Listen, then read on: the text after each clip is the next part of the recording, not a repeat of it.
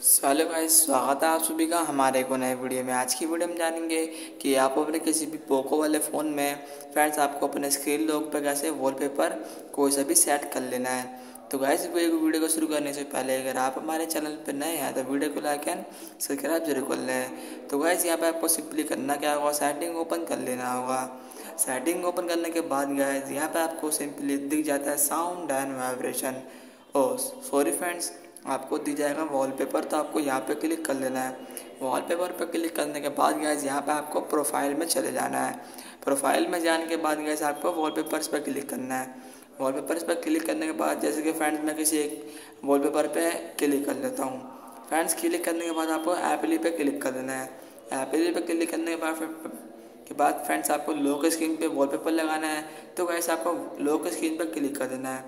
यहाँ पे क्लिक करने के बाद फ्रेंड्स आपको कीप ऑन कर देना है।